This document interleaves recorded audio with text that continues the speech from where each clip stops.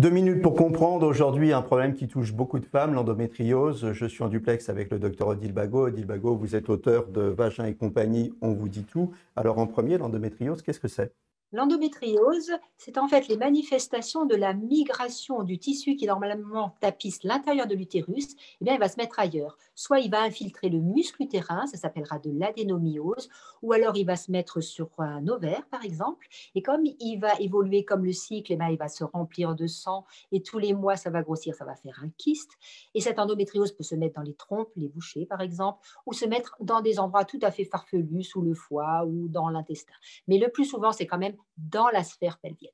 Les problèmes créés par l'endométriose Le problème principal, c'est vraiment la douleur.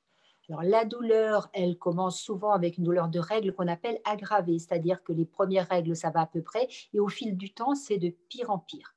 Les douleurs peuvent se manifester aussi au moment des rapports, puisqu'on peut avoir des nodules d'endométriose dans la paroi euh, vaginale. On a aussi des douleurs pelviennes qui peuvent persister de manière chronique. Et puis, on peut avoir des signes digestifs, des douleurs digestives, par exemple, qui arrivent au moment des règles. À, quel moment il faut consulter? À quel moment il faut s'inquiéter? Il faut s'inquiéter lorsque, par exemple, pour les douleurs de règles, pour la dysménorrhée, elle ne passe pas avec un traitement classique antalgique anti-inflammatoire ou si elle ne s'améliore pas en prenant la pilule il ne faut pas laisser surtout une jeune fille souffrir de ces règles, c'est inadmissible, il faut pousser l'examen plus loin. De même, pour des douleurs au moment des rapports ou des douleurs chroniques, il faut pousser l'exploration à la recherche d'une endométriose. Justement, en quelques secondes, quel type d'examen? On commence par un examen clinique qui souvent est performant. Ensuite, on fait une échographie, parfois une échographie référencée parce que c'est difficile de voir les signes. Et ensuite, on va aller faire une exploration de type IRM.